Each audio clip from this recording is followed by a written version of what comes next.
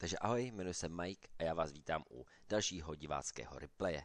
Dneska tady máme, myslím, že suprový, pohyblivý TD, který rozdává smrt a tím je Charioteer. Ale než se k němu pustíme, tak bych jenom rychle pár věcí. Uh, za prvý, jsem velice rád, že vás baví můj styl hraní, nahrávání a prostě jakoby globálně mojí zábavy. Je to úžasný eh, a moc za to děkuju. Za druhý, veškeré informace o, eh, o, o mě a o další možný podpoře a kam zasílat replay a tak dále, tak prosím dolů do komentářů. Ty zasílání replayů, to zasílání replayů, prosím, posílejte mi to opravdu tam, kam máte, protože mi to posíláte různě a já potom v tom mám hrozný guláš, kde to mám hledat a je to taky nepřehledný a tak dále. Takže třeba některý z vás, mm, nebo některým z vás se povedla dobrá bitva, akorát se to poslali prostě jinam a já se k tomu nedostanu nebo nedostanu, prostě to přehlídnu, protože primárně koukám tam, kam se to má posílat. Tak, a teď něco málo k tomuto stroji. Tento stroj si myslím, že je docela jakoby luxusní a jak jsem říkal, je to prostě zabiják, hlavně to dělo tam. To je prostě dělo z Centuriona 7.1, který rozdává totální bolest. A myslím, že nám to dneska tento hráč předvede. Jinak uh, vidíte, že matchmaking prostě pro něj úplně easy peasy. To je to, co chcete prostě s tímhletím strojem. E, myslím si, že i mapa je hodně, hodně slušná na tento stroj. E, jinak hráč Danos 50, já ti za to teda děkuji. A budeme se teda podívat na tento stroj. E, mobilita, naprosto úžasná si myslím. Když se podíváme, má to základu APC, je to 105, 390, 390 alfa, 268 penetrace. Wow, to je prostě naprosto úžasný. Uh, pak to samozřejmě vozí heše, což si myslím, že v takovémhle matchmakingu ty heše jsou totálně OP. Tak.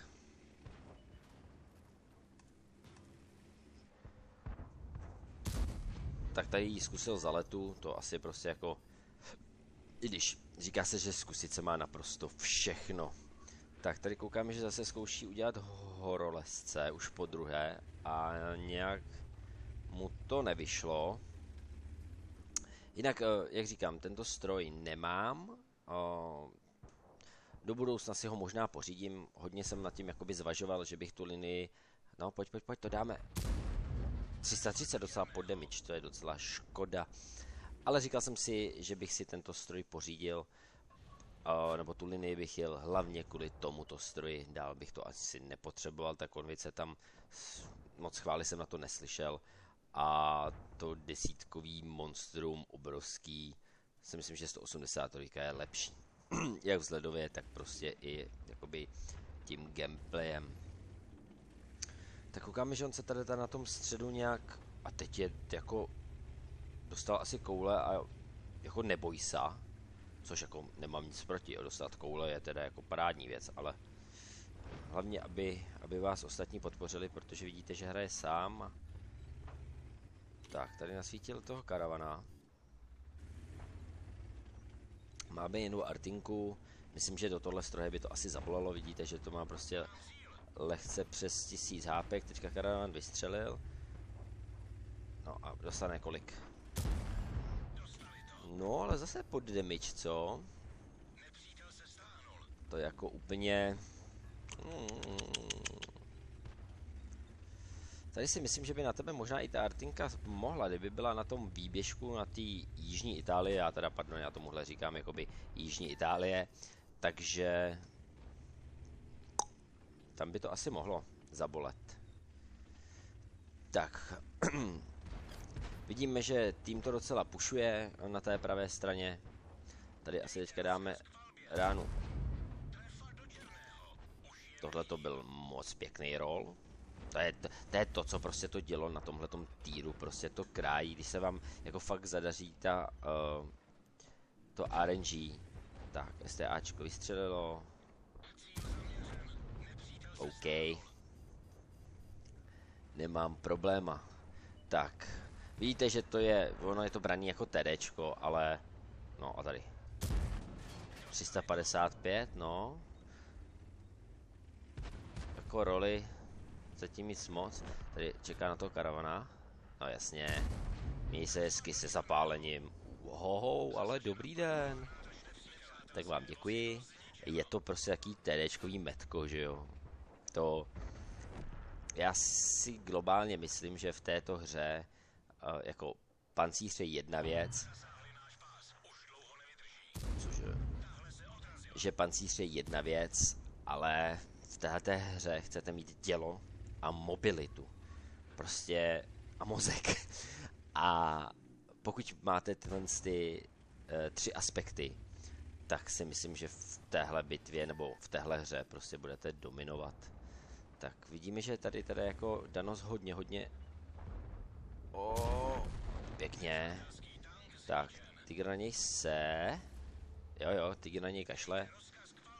Vidíme, že si to tady prostě krájí, jezdí si proto, tak.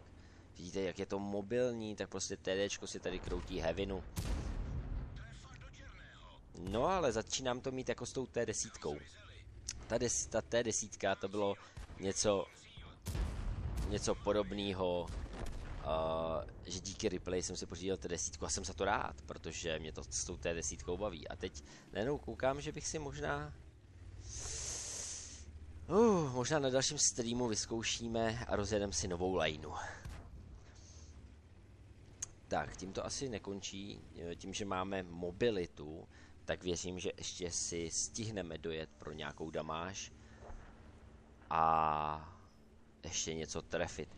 Vidíte, že o, ta bitva je samozřejmě rozhodnutá, ale Danos má furt full HP. Jak kdyby se učil od Bobana.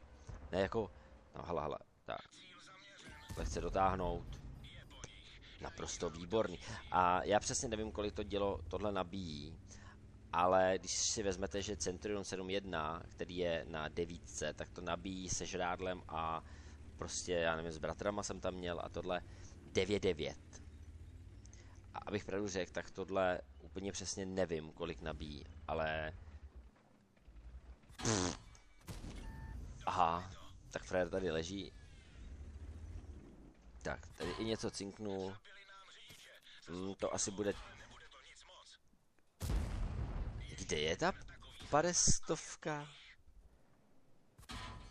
To je vtipný, že, tohle?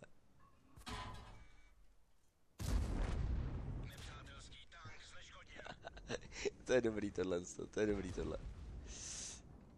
A teď nabíjí klasický héčko, protože to je samozřejmě levnější jak hash a má to taky vysokou penetraci na tom héčku. No, Počkáme si ještě. Ten by měli naráhnout tím héčkem potom. Zkusí.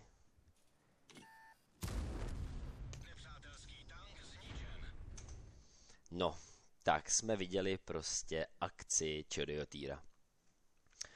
Uh, stroj úchvatný, stroj myslím, že výborný. Uh, ta mobilita je naprosto famózní. E, vidíte, že teda, když vás začne něco krájet nebo vás něco trefí, tak věřím tomu, že to bude stylu posádka nebo modul, protože jste papírový, takže když už vás něco jakoby probije, což jako by vás mělo skoro všechno probít, tak uh, vás to bude prostě stát moduly nebo posádku. Tím si, jako myslím, na 99% jsem jistý. Hra to byla svižná, akční, Danos na nic nečekal, prostě to rozjel, rozpáral. Vůbec jako myslím, že lidi nevěděli, která by je. Hra se mi líbila, doufám, že vám se taky hra líbila a budeme se podívat na ty staty. Tak, jsme tady. Uh, Mko, to je asi prostě myslím, že tam není jediná bitva, kterou jste mi poslali a který tak jako projíždím, aby tam to Mko nebylo. To je taková asi prostě standardní věc, jako nevím, prostě je to standardní věc. Pár věcí, že jo, tady když koukáme, že tam zapálil a tak dále, největší největší samozřejmě damage ve hře. Uh, medaile nejsou jiný, ale prostě mě zaujala ta, nechci říct tak gameplay, ale ta rychlost té bitvy, a ta damáž a hlavně jsem chtěl sám se asi podívat, uh, jak prostě ten charioteer může být dobrý v takovém tom matchmakingu. Uh, I když věřím, že charioteeru nebude vůbec vadit ani jako devítkový devítkový setup. I ty desítky asi prostě, když to může, když, když si může jezdit Centurion 7.1, tak proč ne charioteer? Tak, vidíme, že toho hitoval docela poměrně hodně, to, co všechno viděl. Samozřejmě to díky té mobilitě. Samozřejmě to je ta top damáž. 6400 skoro, 5 kg. Je tam škoda, že tam aspoň nebyl aspoň ten válečníček, možná by to o něco slušelo, šestka tady, šestka tady. Myslím, že naprosto suprový, vidíte, že prostě hrál sám, Eh, i když sám v uvozovkách vy potřebujete, abyste měli i dobrou bitvu, tak aby si lidi nebo nepřátelský tým, aby si všímal vašeho týmu a vy jste tak mezi nima proplouvali a stříleli si tu svoji damáž. Viděli jsme, že teda na to, jak je ten tank papírový, tak s tím Danos byl hodně, hodně agresivní a vyplatilo se, protože dokázal překvapit a dokázal jim výjíždět do bůčku a, a tak dále. Když se podíváme na detail, tak vidíte 17, 17, 16, to prostě jako klobouk dolů. Asi dotočím tenhle replay a jdu expit. Tak, jinak vidíte, že prostě žádný stání vzadu a snajpření prostě pěkně face to face to tam nakrájel. Tudíž nějaký spotting, o tom se ani nebavíme. Bitva tedy, jak jsem říkal, docela rychlá, za necelých 7 minut hotovo. Panáček hraje bez prémia, ale i skoro 20 tisíc nebo 19 tisíc, co máte fukt do plusu. XP myslím, že docela slušný na to, co se tam dělo. Takže jo, tak já myslím, že bitva povedená, snad se vám líbila a jak jsem říkal na začátku, replaye, podpora a tak dále. Všechno vám děkuju, je to naprosto úžasný. Vůbec jsem to nečekal, že by se to mohlo tímhle tím způsobem rozjet. Jsem z toho prostě v euforii. Takže jo, já vám děkuju a při dalším replay streamu mějte se hezky a čus.